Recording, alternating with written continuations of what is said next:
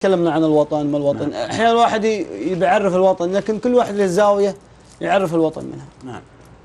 وكل واحد له نظرة. يعني مهما كان الوطن آه للحيوان الوطن للطير الوطن للإنسان. يعني ال- ال- الوطن الإنسان هو اللي آه، ترجم أحاسيسه ومشاعره.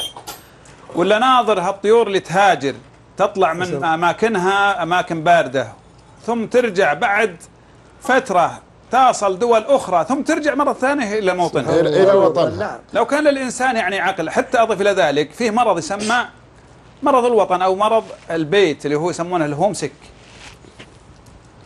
في ناس ما تدري إنها مريضة أصلا إلا بعد ما تغادر وطنها. سبحان الله. في من الناس منه إذا منه جاي يركب الطائرة هون قال لا ما أروح أبد. وطني ولا أو يبي يركب سيارة يقول لا ما أروح. كيف اغادر البلد هذا؟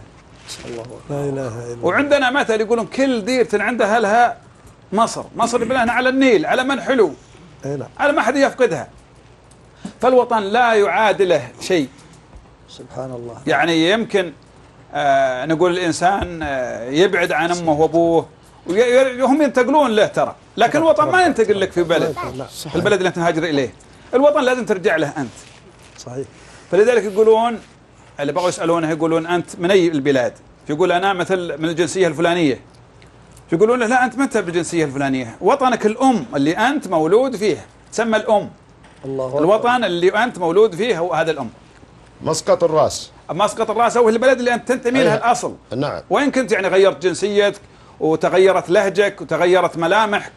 آه، يبقى وطنك هو وطنك. أضف إلى ذلك فيه مرض غير هذا إلى أنه يصاب الإنسان بعلة في بلد الثاني. ما يشفى إلا إذا رجع البلد. سبحان الله. وهذه من الم- من ال- أكبر. اللي يعني ما أحد يعرف عنها شيء. قد يصاب بكحة قد يصاب بربو قد يصاب بهزال قد يصاب فإذا منه رجع وشرب من هالماء ورجع لها ريحة هالهواء اللي كان فيها انتعش وطاب. وكلامك على هذا- متم يا أبو محمد. ما له يمكن علاقة بحديث النبي صلى الله عليه وسلم بتربه أرضنا.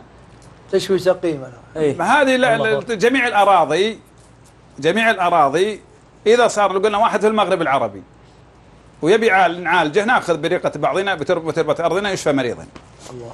يعني كل ولا يعني. الانتماء تقصد أنت إن الانتماء لهال هالتربة؟ نعم. الله أعلم. أنا البين إنها آه، كل تربة أرض لوطنها لمواطنها مثل ما نقول الآن فترة ال- الأكل الفاكهة يعني الآن إحنا فترة البرتقال وال- والليمون. فيه أقرب شيء للشفاء للبدن. سبحان الله العظيم. في الصيف عندك الحبحب والتمر. سبحان الله العظيم. ولو تجي الواحد شامي وتقول له تقدم له التمر. رحنا آه، في سنة من السنوات وكان على بشرة التمر. وودينا للأردن. الأردن فيها الزيتون هو ال- ال- الدرجة الأولى. وقدموا له الصباح والظهر. وقدموا له المرة الثالثة قال يا جدي خذ تمر. قال تمر تمر ثلاث مرات يعني. عاد لا كان اللي هو أجل يعني لا كان عاد لو كان لو كان زيتونات. يعني مش أنتم جايبين لي هالحين؟ جايبين لي تمر. إيه. إنتاج بلده تغير. اي إنتاج إنتاج- بلد إنتاج هذا البلد. جايبين لي التمر. يقول عاد الحين تقدموا لي كل شوي مقدمين لي تمر. أضف إلى ذلك التمر آه، قدمته لناس في الشرق. أول مرة يذوق التمر ما يعرفونه. ما يعرفون أول مرة يذوق التمر تغير وجهه من الحلاوة اللي فيها. قال حلوة مرة حياك الله. الله قال والله حلوة مرة. بسم الله. عليك ها ترى هذا التمر الحلو؟ إيه بس ما يدري هو عنه وش هو هذا. لا ما يدري. إيه. فنرجع للوطن الوطن مهما والوطن الآن عندك بعض الشيبان انت لو جبت لك من قريب من هنا نعم. جبت لك واحد شايب ما تعدى من أي منطقة مناطق اللي تحد نجد. نعم. شلته من ديرته من هناك وجبته للرياض تراه يختلف. لأنه ما تعود. رجعه لديرته تلقاه يرجع كما كان.